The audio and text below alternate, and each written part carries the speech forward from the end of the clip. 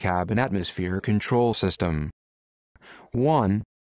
Which section of a turbine engine provides high-pressure bleed air to an air cycle machine for pressurization and air conditioning? Low or high-pressure compressor 2. A contaminated oxygen system is normally purged with oxygen. 3. The position of the thermostatic expansion valve in a vapor cycle cooling system is determined by temperature and pressure of the freon in the outlet of the evaporator. 4. In an operating vapor cycle cooling system, if the two lines connected to the expansion valve are essentially the same temperature, what does this indicate? The expansion valve is not metering freon properly. 5. The point at which freon flowing through a vapor cycle cooling system absorbs heat and changes from a liquid to a gas is the evaporator. 6. What controls the amount of oxygen delivered to a mask in a continuous flow oxygen system? Calibrated orifice. 7. The cabin pressure of an aircraft in flight is maintained at the selected altitude by controlling the rate at which air leaves the cabin. 8. The primary function of the cabin pressurization system outflow valve is to maintain the desired cabin pressure. 9. What is the condition of the refrigerant as it leaves the evaporator of a vapor cycle cooling system? Low pressure vapor. 10. Refer to Figure 13. Determine what unit is located immediately downstream of the expansion valve in a Freon refrigeration system. Evaporator coils. 11.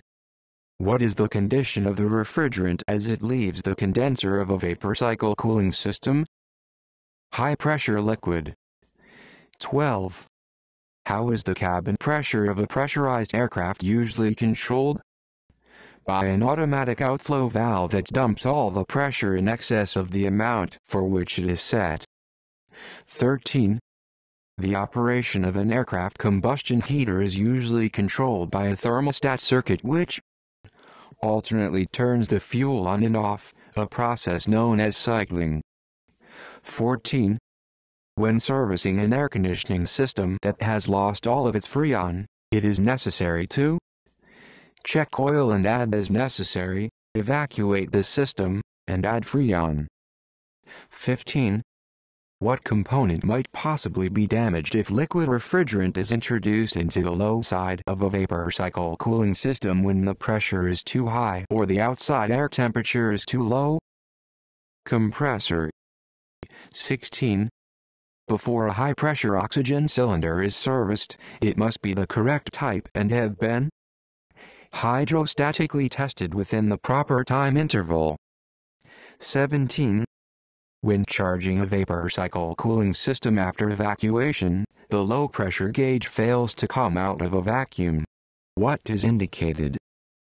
Blockage in the system. 18. What type of oxygen system uses the rebreather bag type mask? Continuous flow. 19. Refer to Figure 14. One hour after an oxygen system was charged for a leakage check, the oxygen pressure gauge read 460 pounds per square inch at 63 degrees Fahrenheit. Six hours later the temperature was 51 degrees Fahrenheit. A 5 pounds per square inch change is the maximum allowable in a six-hour period. Wood pressure gauge readings would be acceptable to remain within the allowable limits. 445 to 450 pounds per square inch. 20. What test is used to determine the serviceability of an oxygen cylinder? Pressure test with water. 21. Where does the last stage of cooling in an air cycle air conditioning system occur? Expansion turbine. 22. Composite oxygen bottles that conform to DOT-E-8162 have a service life of 15 years or 10,000 filling cycles whichever occurs first. 23. An aircraft pressurization cycle is normally considered to be One complete series of events or operations that recur regularly. 24. What unit in a vapor cycle cooling system serves as a reservoir for the refrigerant? Receiver dryer. 25. In a Freon vapor cycle cooling system, where is cooling air obtained for the condenser? Ambient air. 26. Oxygen systems in unpressurized aircraft are generally of the continuous flow and pressure demand types. 27. The basic air cycle cooling system consists of a source of compressed air, heat exchangers, and a turbine. 28. 1. Usually bleed air from a gas turbine engine compressor can be safely used for cabin pressurization. 2. Independent cabin condition air machines, air cycle machine, can be powered by bleed air from an aircraft turbine engine compressor. Regarding the above statements, both number 1 and number 2 are true. 29. At which component in an air cycle cooling system does air undergo a pressure and temperature drop? Expansion turbine. 30. When an aircraft's oxygen system has developed a leak, the lines and fittings should be bubble tested with a special soap solution manufactured specifically for this purpose. 31. If oxygen bottle pressure is allowed to drop below a specified minimum, it may cause moisture to collect in the bottle. 32. Frost or ice buildup on a vapor cycle cooling system evaporator would most likely be caused by inadequate airflow through the evaporator. 33 which is considered a good practice concerning the inspection of heating and exhaust systems of aircraft utilizing a jacket around the engine exhaust as a heat source. Supplement physical inspections with periodic operational carbon monoxide detection tests. 34. To be eligible for recharging, a DOT-3HT oxygen cylinder must have been hydrostatically tested every three years and be retired from service after 24 years or 4,380 filling cycles. 35. What controls the operation of the cabin pressure regulator? Cabin altitude. 36. If the cabin rate of climb is too great, the control should be adjusted to cause the outflow valve to close faster. 37. Which of the following are characteristic of a chemical or solid-state oxygen system? 2. A volume storage capacity about three times that of compressed oxygen. 3. The system generators are inert below 400 degrees Fahrenheit even under severe impact. 2 and 3. 38. How should you determine the amount of oxygen in a portable, high-pressure cylinder? Read the pressure gauge mounted on the cylinder. 39. A pressurization controller uses barometric pressure, cabin altitude, and cabin rate of change. 40. What is the condition of the refrigerant as it enters the condenser of a vapor cycle cooling system? High pressure vapor. 41.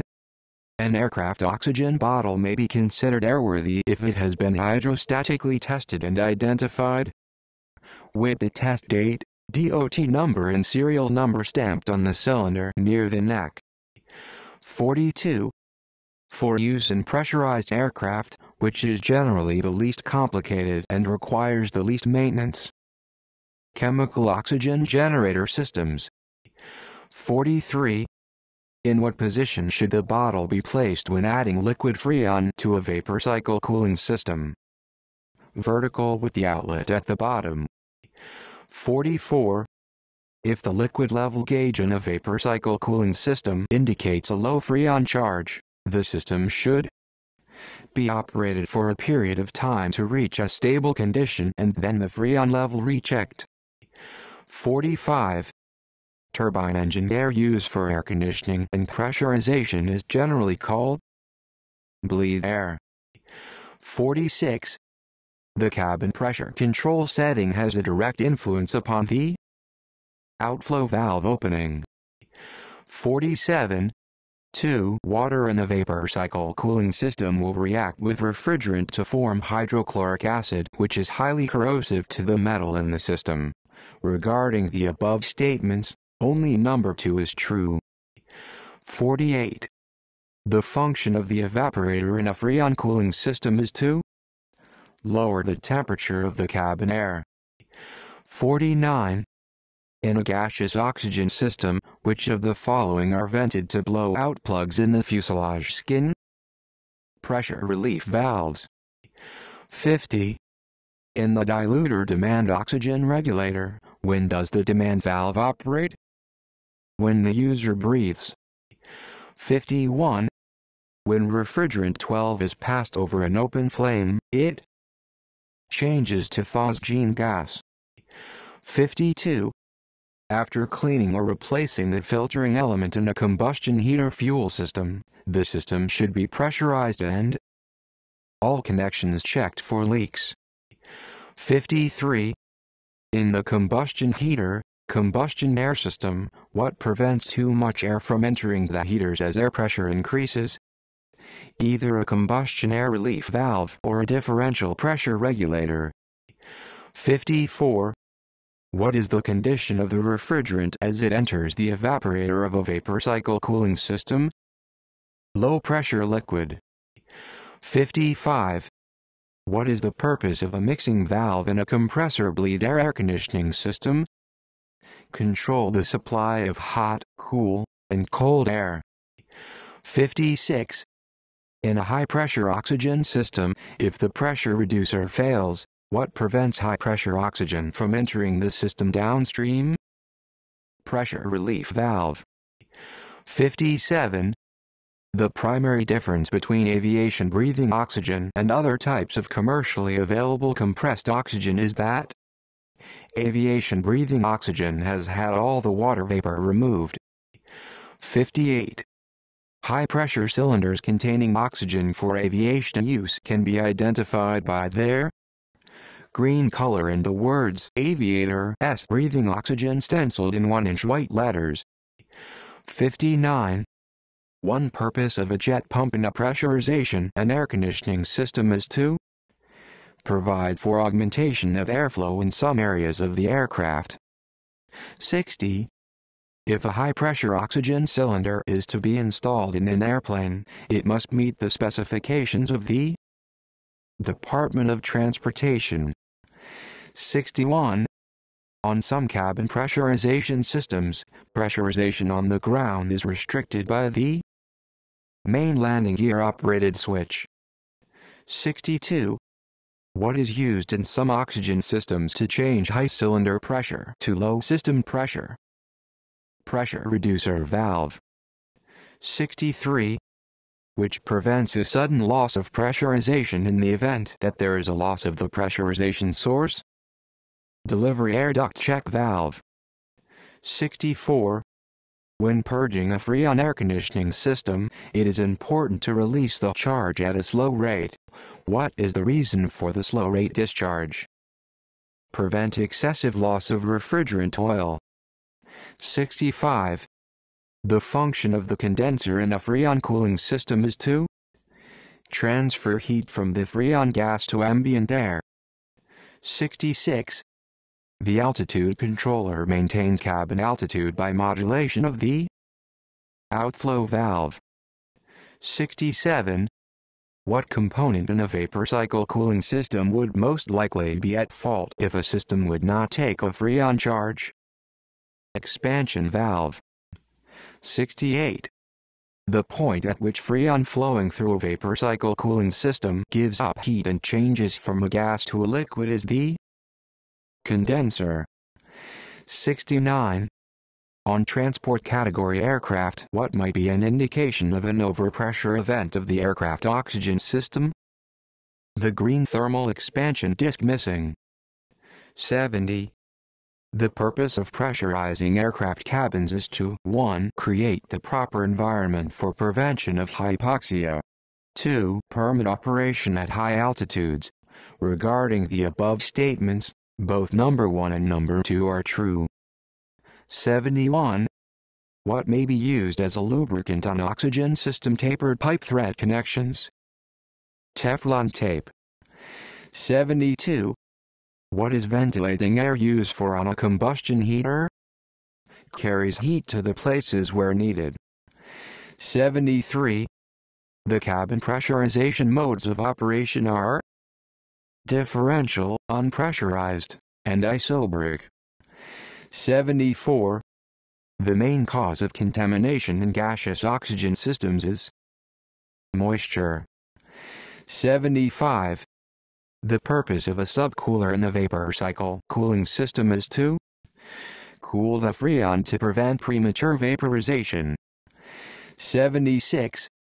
Hot compressor bleed air operates the conditioned air system on some turbine aircraft, cold air supplied by the RAM air cycle cooling unit. 77. Hot compressor bleed air operates the conditioned air system on some turbine aircraft, cold air supplied by the RAM air cycle cooling unit. 78. The evacuation of a vapor cycle cooling system removes any water that may be present by lowering the boiling point of the water and drawing out the vapor. 79. What component of a pressurization system prevents the cabin altitude from becoming higher than airplane altitude? Negative pressure relief valve. 80. When checking a Freon system, a steady stream of bubbles in the sight gauge indicates the charges low. 81. 1. Oxygen used in aircraft systems is at least 99.5% pure and is practically water-free. Only number 1 is true. 82. How can it be determined that a vapor cycle cooling system is charged with the proper amount of Freon? air bubbles in the sight glass disappear. 83. The air cycle cooling system produces cold air by extracting heat energy across an expansion turbine. 84. How often should standard weight high pressure oxygen cylinders be hydrostatically tested? Every 5 years. 85. The purpose of the dump valve in a pressurized aircraft is to relieve all positive pressure from the cabin. 86. The function of an expansion valve in a freon cooling system is to act as a metering device and to reduce the pressure of the liquid freon. 87. When a vapor cycle cooling system is not in operation, what is an indication that the system is leaking freon? Oil seepage. 88. The purpose of the airflow metering aneroid assembly found in oxygen diluter demand regulators is to regulate airflow in relation to cabin altitude when in diluter demand position. 89. Which best describes cabin differential pressure. Difference between the ambient and internal air pressure. 90. What type of oil is suitable for use in vapor cycle cooling system? Special high-grade refrigeration oil.